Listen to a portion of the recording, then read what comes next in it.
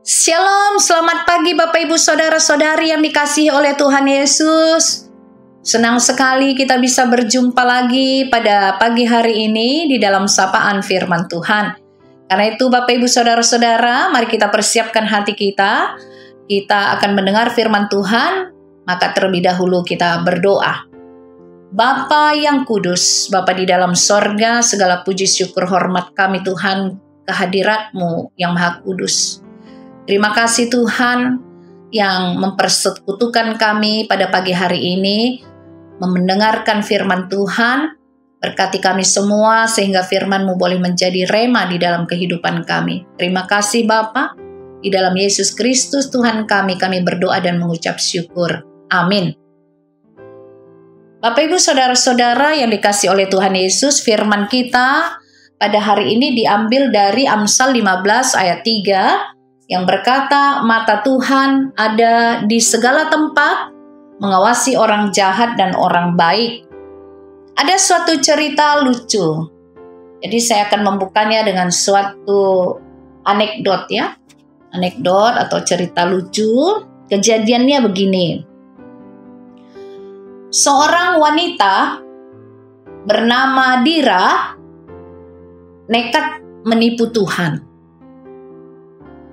Wanita itu berkata kepada Tuhan, "Kalau Tuhan bisa menyenangkan dan menemaninya jalan-jalan, maka ia akan memberi uang banyak kepada Tuhan." Akhirnya Tuhan tertipu sekitar 1,9 juta karena ingin menyenangkan wanita tersebut.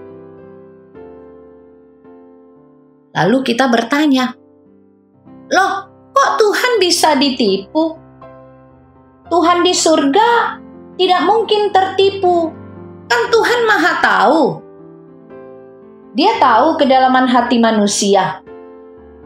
Ah, Bapak Ibu Saudara-saudara yang dikasih oleh Tuhan Yesus, Tuhan tidak tertipu. Yang ditipu oleh Dira adalah Tuhan yang gemar makan bakso dan suka menerima uang banyak. Pria itu bernama Tuhan warga Kabupaten Lumajang. Nah, itu anekdot ya. Atau sebuah cerita lucu ya. Ada juga orang yang bernama Yesus ya di Brazil sana.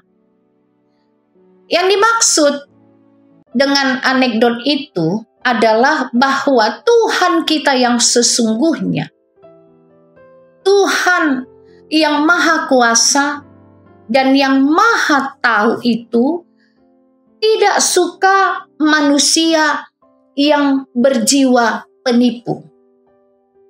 Kalau kita kaitkan tadi dengan firman Tuhan dari Amsal tadi, mata Tuhan ada di segala tempat.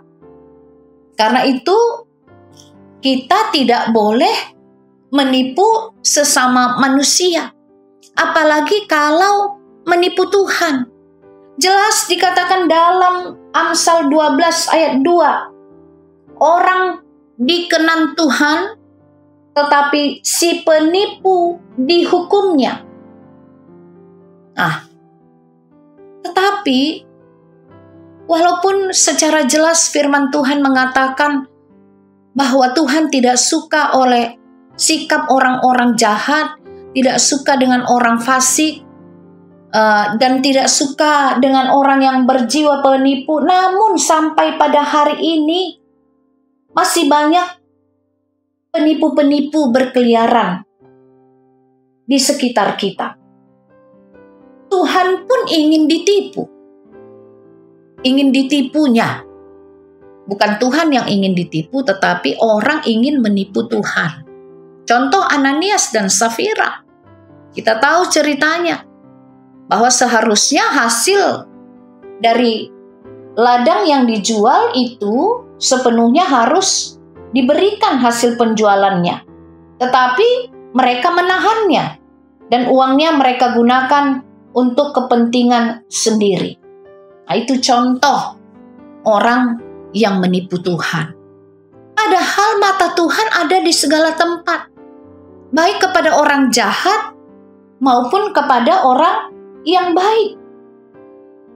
Nah, ada lagi orang yang berwajah malaikat yang seolah-olah baik sekali orangnya, pandai mengolah bahasa, lembut bertutur kata, wajahnya bagaikan bayi yang tidak berdosa, tapi di balik kata-katanya hatinya penuh dengan tipu daya. Bapak, ibu, saudara-saudara yang dikasih Tuhan, manusia tidak dapat bersandiwara di hadapan Tuhan karena mata Tuhan ada di segala tempat, mengawasi orang jahat dan orang baik. Kita tidak dapat bersandiwara di hadapan Tuhan, sekalipun wajah kita seperti bayi yang tidak berdosa. Kata-kata kita lemah lembut, pandai mengolah bahasa. Di hadapan orang lain, kita ini orang yang sangat baik, tetapi di hadapan Tuhan kita adalah orang yang penipu. Karena apa? Hati kita yang penuh tipu daya itu Tuhan tahu. Karena itu kita tidak dapat bersandiwara di hadapan Tuhan. Di hadapan manusia kita dapat bersandiwara. Tetapi di hadapan Tuhan kita tidak dapat bersandiwara. Karena itu janganlah menipu Tuhan. Janganlah bersandiwara di hadapan Tuhan. Karena itu, Bapak, Ibu, saudara-saudara yang dikasihi oleh Tuhan, kalau kita tahu Tuhan itu hadir di mana-mana, hadir di segala tempat, hadir di segala waktu.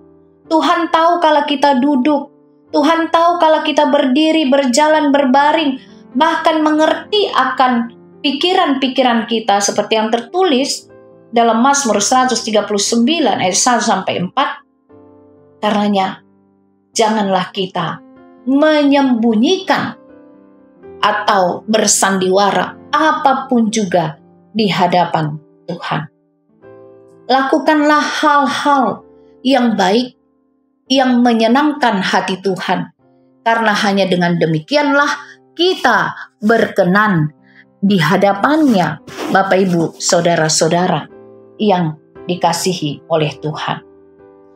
Di zaman sekarang ini pun kita sering mendengar istilah EGP katanya. Emang gue pikirin. Nah, kita berpikir itu suatu tindakan yang biasa-biasa saja.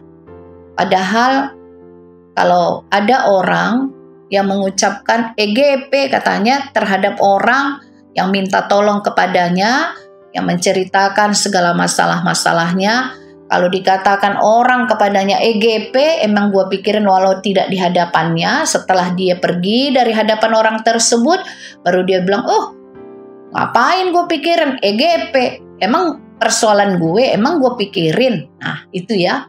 Jadi ada orang pintar bersandiwara di hadapan orang lain. Ketika ada orang yang menceritakan masalah kepadanya seolah-olah dia penuh perhatian. Seolah-olah dia baik, seolah-olah dia mau menolong. Padahal hatinya penuh dengan iri hati. Tipu daya. Ya, saya akan doakan, saya akan perhatian, saya akan coba memikirkan jalan keluar dari masalahmu ya, katanya. Tapi setelah orang eh, terima kasih kata orang tersebut. Tapi setelah orang tersebut berlalu yang mempunyai masalah ini, dalam hati kita bilang misalnya ini ya, karena saya pernah tahu ada orang seperti itu. EGP katanya, emang gue pikirin. Karena ternyata orang tersebut sudah lama menaruh kebencian, sudah lama menaruh iri hati kepada orang yang tidak tahu apa-apa ini yang mau menceritakan masalahnya kepada temannya itu. Yang dia pikir teman ternyata bukan. Kita sering kali tertipu oleh sikap-sikap yang baik yang orang tunjukkan kepada kita. Hati-hati Bapak Ibu Saudara-saudara yang kasih Tuhan. Ternyata manusia ini pandai bersandiwara Padahal ada lagu yang mengatakan dunia, ya justru ada lagu yang mengatakan dunia ini panggung sandiwara. Kita pandai bersandiwara di hadapan orang-orang. Menunjukkan seolah-olah kita ini orang baik, padahal hati kita penuh tipu daya. Padahal kita sering mengatakan EGP, emang gue pikirin. Bapak ibu saudara-saudara yang dikasih Tuhan, pada saat ini firman Tuhan mengingatkan kita, mata Tuhan ada di segala tempat. Kita tidak boleh bersandiwara di dalam hidup ini. Kita harus melakukan seluruh tugas tanggung jawab, tindakan kita harus dapat kita pertanggungjawabkan dan apa pun yang kita lakukan, lakukanlah dengan sepenuh hati, dengan ketulusan hati, dengan rasa takut akan Tuhan, dengan rasa syukur, dengan tekad ingin menyenangkan hati Tuhan. Semoga firman yang ditaburkan pada saat ini dapat menjadi rema bagi kita semua yang mengingatkan kita. Janganlah kita melakukan perbuatan-perbuatan yang tidak baik, tetapi jadilah berkat di segala tempat, di segala waktu, di mana pun kita berada, agar Tuhan Yesus dipermuliakan dan senang dengan tindakan kita, karena kita tahu Tuhan ada untuk melihat kita. Tuhan Maha Hadir, Maha Tahu apa pun yang kita lakukan. Tuhan Yesus memberkati. Amin. Kita berdoa. Bapa di surga, terima kasih untuk firman Tuhan yang boleh kami dengar pada hari ini.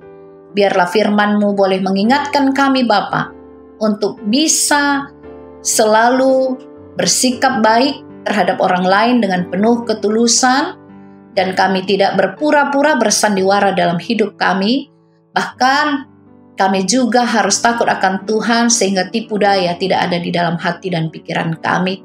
Terima kasih Bapa karena Engkau ada di segala waktu, di setiap tempat, ada di mana-mana. Tuhan melihat kami. Terpuji nama Tuhan Yesus Kristus, Tuhan dan Juru Selamat kami hidup kekal selama-lamanya. Amin.